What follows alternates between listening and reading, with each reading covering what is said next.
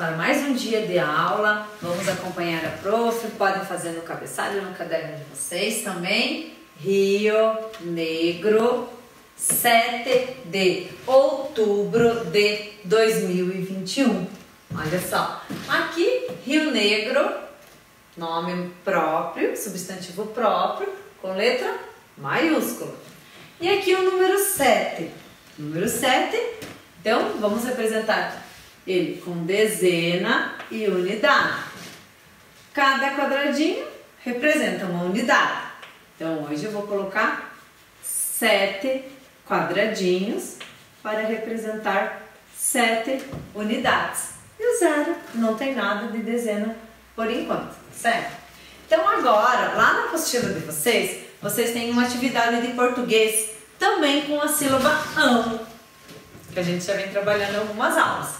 E temos também uma letra de música que é bem conhecida, principalmente nas festas juninas a gente canta, que é assim, acompanha a leitura junto com a prof. Cai, cai, balão, cai, cai, balão, aqui na minha mão. Não cai não, não cai não, cai na rua do sabão. Isso mesmo, vocês podem ler lá, essa atividade tem na apostila de vocês. Ele diz assim, ó, Vamos circular de vermelho todas as palavras que tem ão. Então vocês vão pegar o lápis de cor vermelha de vocês e vão circular todas as palavras que tenham. Vamos olhar, começar sempre lá do início. Cai, cai, balão. Opa, aqui tem. Vamos fazer um círculo, certo? Aqui também vocês vão, vão encontrando. Cai, cai, balão. De novo. Vamos fazer um círculo em vermelho. Aqui na minha mão. Mão também tem a sílaba ão. E assim vocês vão fazer com o restante da letra da música, tá certo? E também lá do lado da apostila de vocês tem uma atividade que vocês vão fazer a leitura de algumas palavrinhas com a sílaba ão sem gaguejar. Vou dar aqui o exemplo. Nós temos algumas palavrinhas que é cão, dão, mão, não, pão. Então vocês vão tentar fazer essa leitura sozinhos aí na casa de vocês. Cão, dão, mão, não, pão, certo? Tem mais algumas palavras, a lista lá continua. Vocês vão ler todas essas palavrinhas ali que tem na listagem. E logo em cima, aqui logo mais abaixo da atividade do ano, vocês vão encontrar aqui algumas formas geométricas, já pra gente continuar dando continuidade em português também. Nós temos algumas formas geométricas. Vocês sabiam que a estrela também é uma forma geométrica? Isso mesmo. Ó, pinte as figuras iguais e escreva as palavras formadas.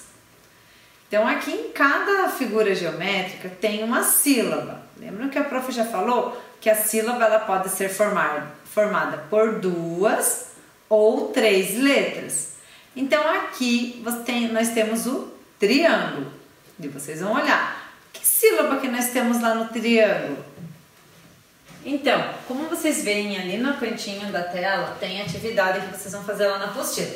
Nós temos lá o triângulo. E lá em cima vocês vão procurar quais sílabas que estão lá no triângulo. Nós temos a sílaba, temos duas sílabas.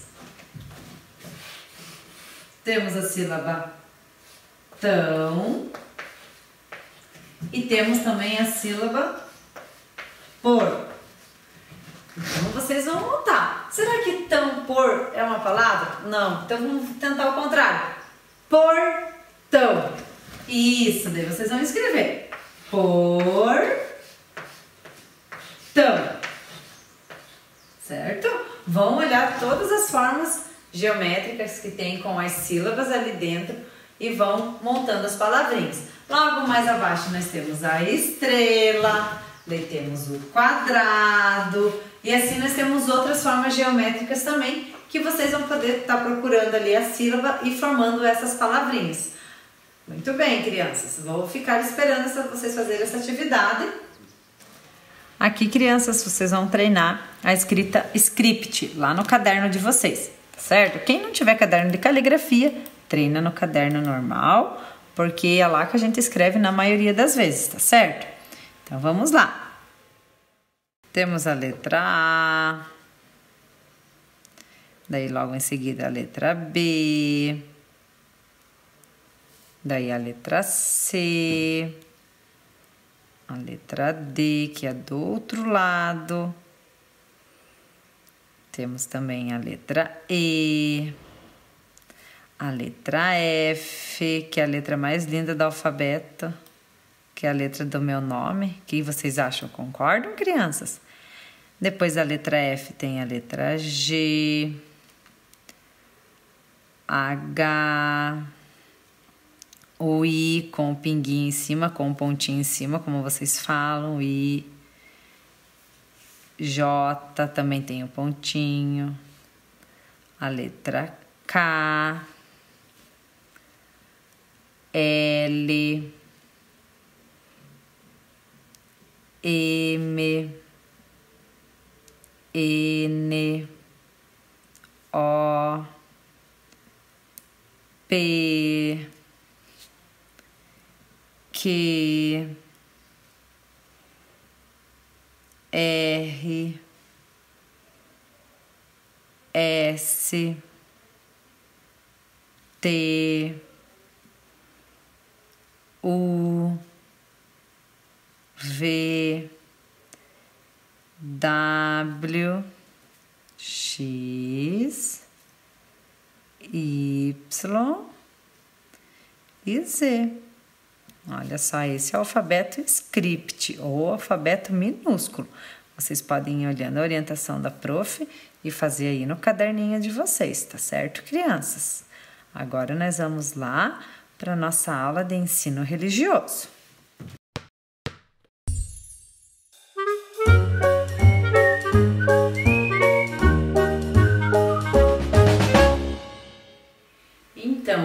Nós vamos dar início à nossa aula de ensino religioso e hoje eu trouxe uma outra palavra: gratidão.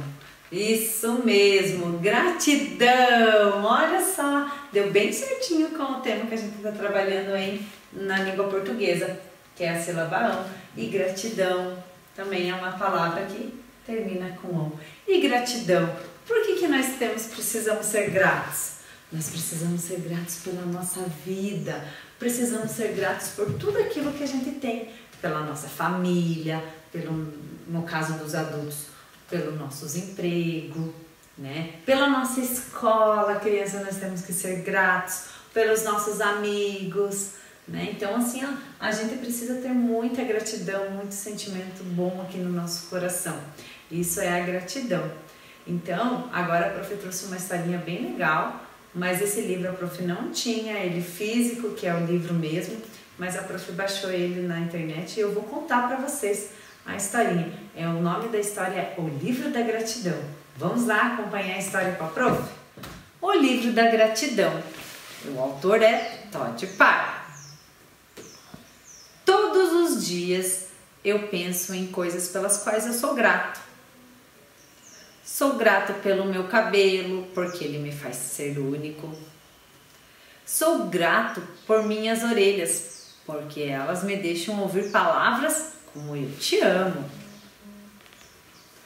Sou grato por meu jardim, porque ele me faz ver os animais, as plantas crescendo. Sou grato por minha sombra, porque ela me faz parecer mais alto Sou grato pela espuma do banho, porque ela me deixa bem limpinho. Sou grato pelas cuecas, porque eu gosto de usá-las na minha cabeça. Sou grato por meus amigos, porque eles me fazem sorrir. Sou grato por meus bichos de estimação, porque eles me mantêm aquecidos. Sou grato pelas férias, porque posso conhecer novas pessoas e lugares diferentes. Sou grato pelos passeios, porque podemos ficar juntos, apenas eu e você. Sou grato por minhas mãos, porque elas me ajudam a dar presentes especiais. Sou grato por meus pés, porque eles me ajudam a correr e a brincar. Sou grato pela música, porque ela me faz querer dançar. Sou grato pelas cores, porque elas me fazem querer pintar. Sou grato pela escola, porque eu adoro aprender coisas novas. Sou grato pela biblioteca, porque ela é repleta de infinitas aventuras. Sou grato pela comida saudável, porque ela me mantém forte. Sou grato pelo outono, porque eu adoro brincar com as folhas. Sou grato pelo inverno, porque eu adoro fazer boneco de neve. Sou grato pelos abraços, porque eles me fazem com que eu me sinta bem. Sou grato pelos beijos, porque eles fazem com que eu me sinta amado. Sou grato pelos feriados, porque eles reúnem toda a minha família. Existem várias coisas pelas quais devemos ser gratos. Tente lembrar de alguma, de alguma todos os dias. Com amor, Todd Pá. Daí, crianças, lá na apostila de vocês tem um pote, né? Tem um desenho de um pote e ele está escrito como um pote da gratidão. E dentro desse pote, vocês vão desenhar todas as coisas pelas quais vocês são gratos. Pode desenhar a família, se vocês são gratos à família, a família que vocês têm, a escola, o caderno, tudo que vocês têm, a comida que vocês gostam, que vocês têm, vocês podem colocar lá no pote da gratidão. Às vezes a gente perde muito tempo reclamando da nossa vida, a gente reclama às vezes das coisas que a gente não tem, a gente reclama do irmão, mas se a gente não tivesse, né? Que triste que seria. Então a gente precisa aprender a agradecer. Nós precisamos ser gratos por tudo aquilo que a gente tem, tá certo, crianças? Espero que vocês tenham gostado da aula de hoje e essa é a nossa palavrinha de hoje de ensino religioso. Gratidão, certo? Abraços e até a próxima aula.